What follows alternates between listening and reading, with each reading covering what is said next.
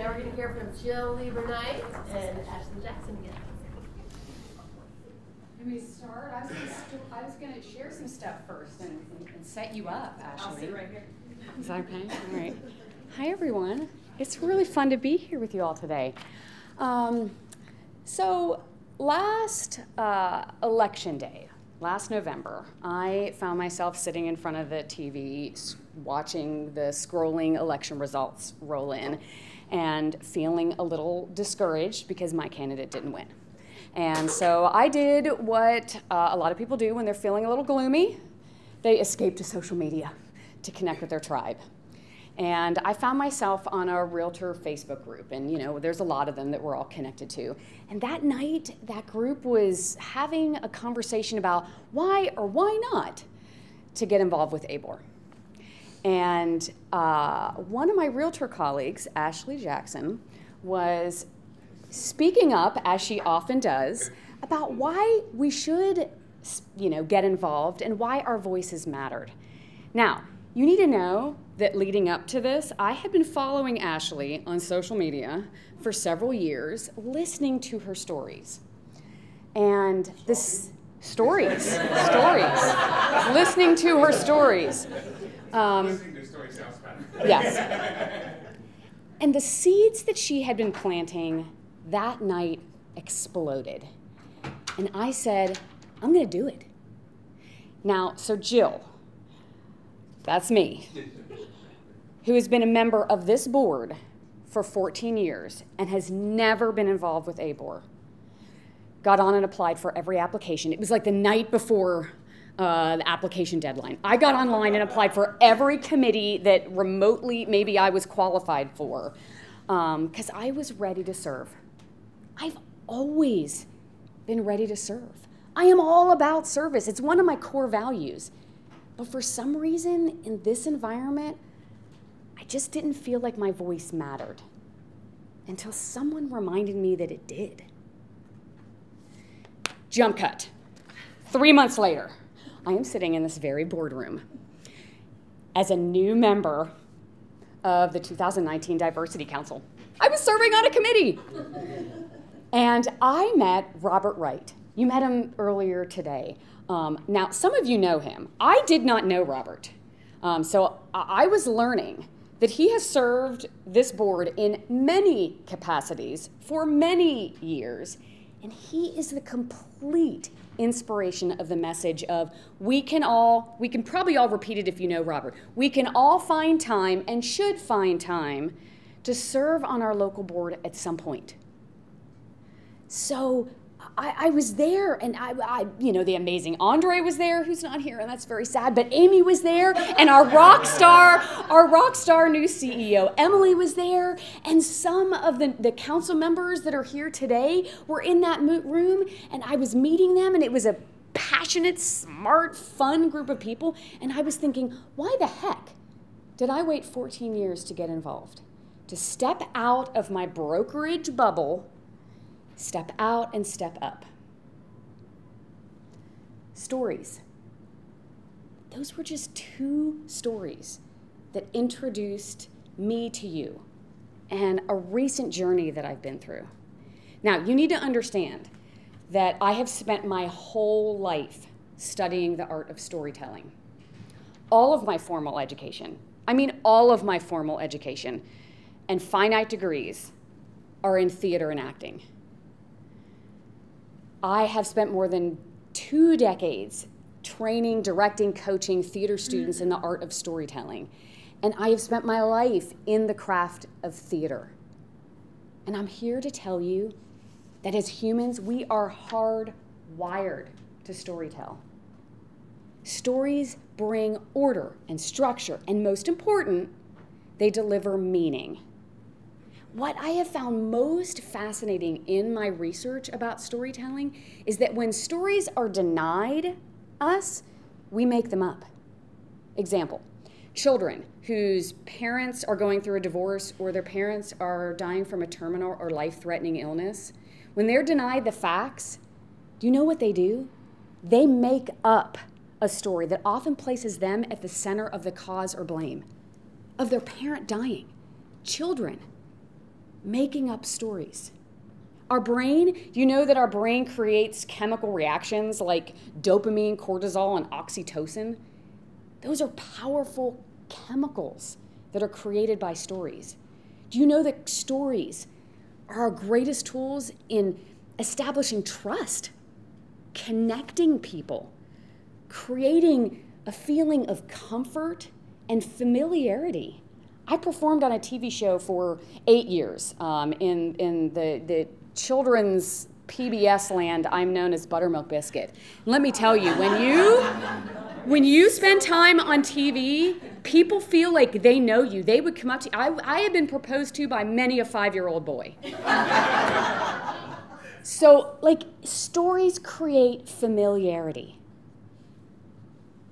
They're our greatest tools. And so, those of you in this room that are getting ready, getting ready to launch a campaign for leadership here, if you could use a tool like that utilize a tool that helps people know, like, and trust you for free, why wouldn't you use that?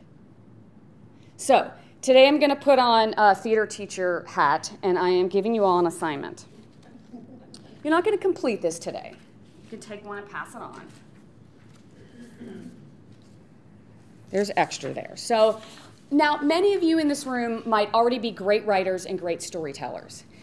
These are just creative writing prompts to give you something to stir your imagination, to daydream about your unique story. One, do you remember a time when you felt that your contribution made a difference in someone's life? Two, was there an event in your life that taught you the importance of service? Three, was there a person in your life that encouraged you and helped you learn that your voice mattered and you had something to share? My story today that I shared about Ashley she was a person in my life that helped me realize that my voice mattered. So go home. Take some time to think about this. If you're running, take time to think about your story. I'm here to remind you that stories are the easiest but most powerful weapon in your arsenal for branding and campaigning. Stories show people show people your resume. We realtors love to list, you know, our achievements, awards, and designations. I fall victim to that sometimes as well. But when you can show somebody what you're about and what you're passionate about, that message sticks. So please, please, when you're sort of crafting and daydreaming about running and campaigning and spreading your message, don't forget that stories if they're denied in your campaign, your audience is going to make one up for you. Do you hear that? Your audience will make one up for you if you don't tell your story. So be the author of your story. Take time to daydream about it. Know that this takes time. This is not a quick thing. Someone who has spent years in theater, I know that it, it takes time to sit and daydream and think and write and journal and talk to people. And then once you find some stories that really capture who you are, write them down.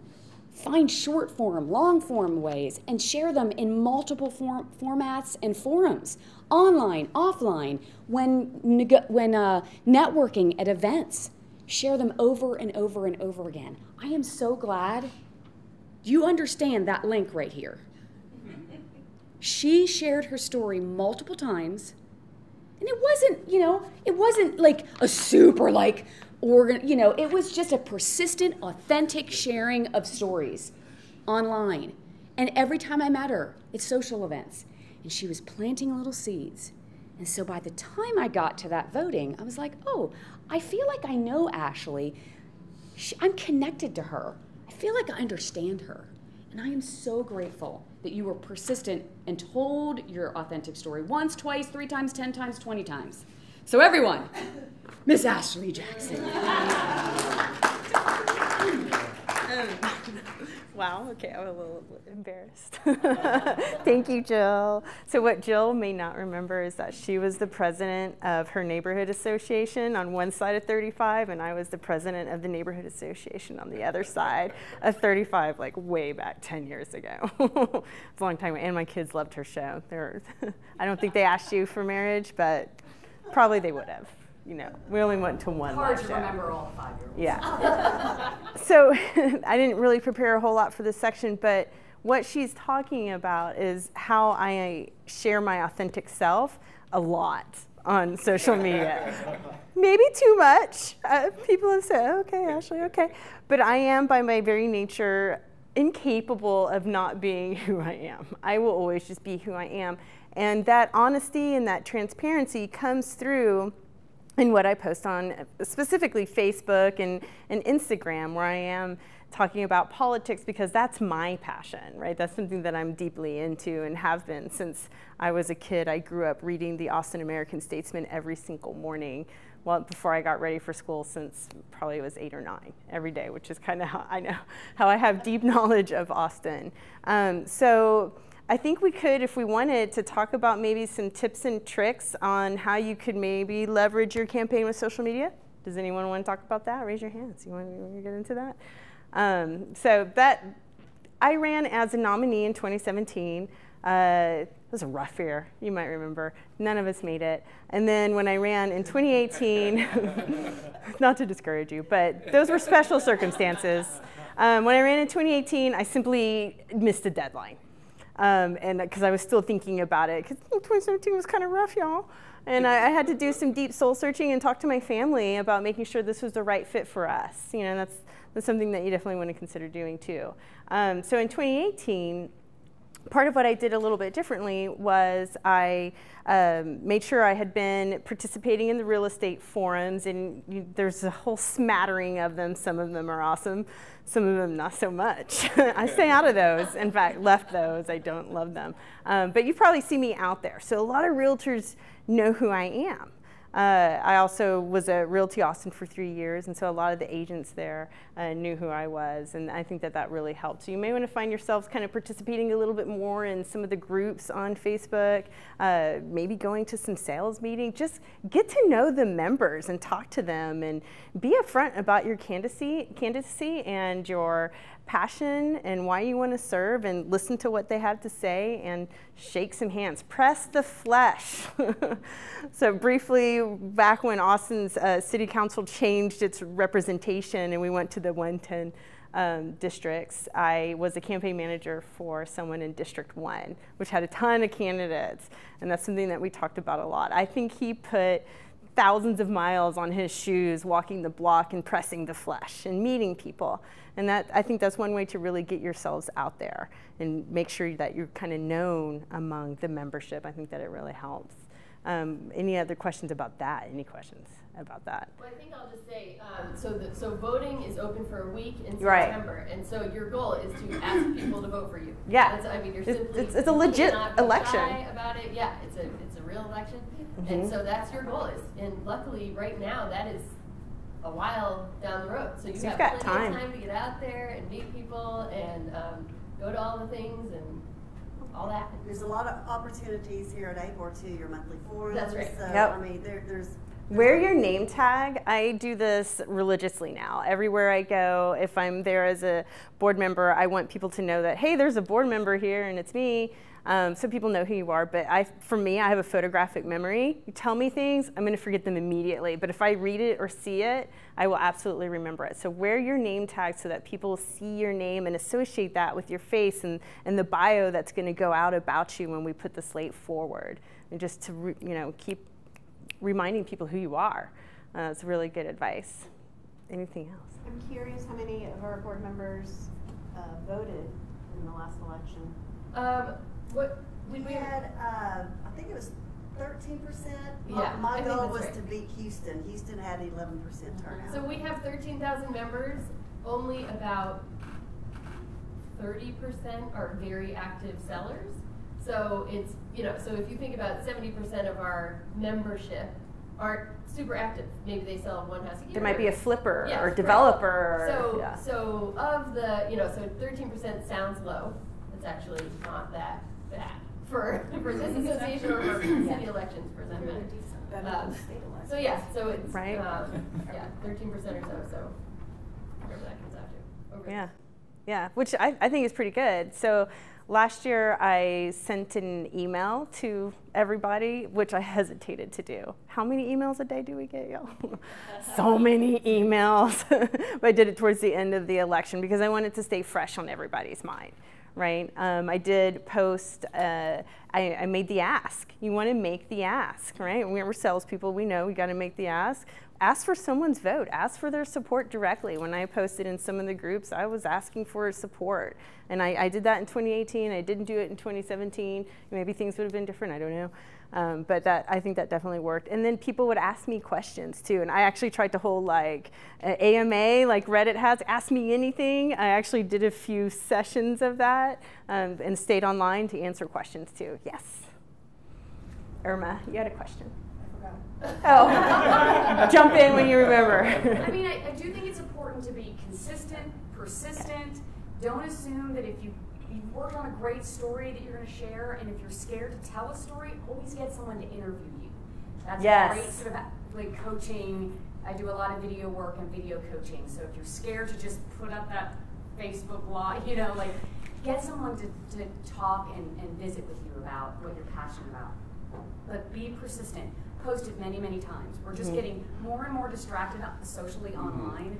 So just keep doing it and know that once um, you send it out there, you might have to post it several times and share it and get other people to share it.